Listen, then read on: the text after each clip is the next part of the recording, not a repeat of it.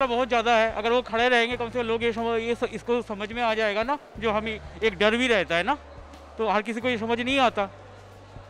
ममता सरकार ने तो साफ़ तौर पर कहा है कि दो गज की दूरी आपको खुद ही रखनी पड़ेगी थोड़ी दूरी जो है खुद बरतनी पड़ेगी तो इसमें सरकार की क्या गलती है? सरकार ने निर्देश दिया है सरकार आके तो आपको कुछ नहीं कुछ है करता है कुछ और है मैडम। अभी डेली मेट्रो से भी जाते हैं वहाँ पे कोई कोई ना कोई चेक करता है क्या लेके जा रहा है नहीं लेके जा रहा है कोई सैनिटाइज नहीं है अब जाके चेक कर लीजिए मैं डेली रविंद्र सदन तो अ, दम दम अप एंड डाउन करता हूँ मेट्रो पे वहाँ पे कुछ नहीं है ये गवर्नमेंट गवर्नमेंट की गलती है ये आपका नाम আমার নাম সাথী রানা আমি হুগলি ডিস্ট্রিক্টে বাড়ি আমি এনআরএসের নার্সিং স্টাফ প্রতিদিন গাড়িতে জার্নি করতে খুবই সাফার হচ্ছি তো আমার রিকোয়েস্ট যেন রেগুলারলি ট্রেনটা চলুক লোকাল ট্রেনটা আমার হাম্বল রিকোয়েস্ট যেন এটা চলে ঠিকঠাক টাইমে তাহলে অনলেস মানে সবাই ডিউটি যেমন করতে পারবে সবাই হেল্প হবে। অবভিয়াসলি আমরা ইমার্জেন্সি স্টাফ আমরা ভীষণভাবেই সাফারার হচ্ছি।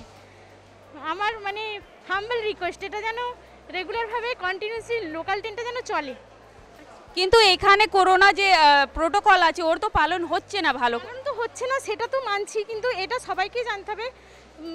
ওরা যদি ঠিকঠাকভাবে মেনটেন করে অত হসপিটালেও চাপ কম হবে অত আমাদের প্রেশার কম হবে পিপি কিট পরে ডিউটিটাও আমাদের করতে হবে না।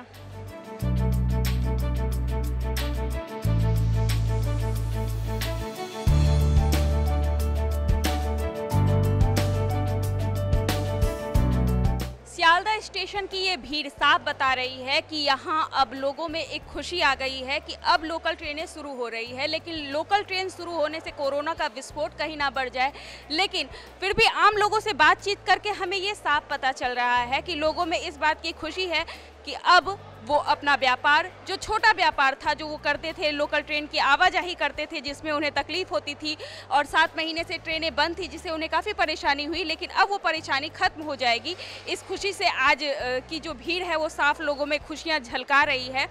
Big news 24 four into Kolkata से कैमरा पर्सन राजेश के साथ मैं संपत।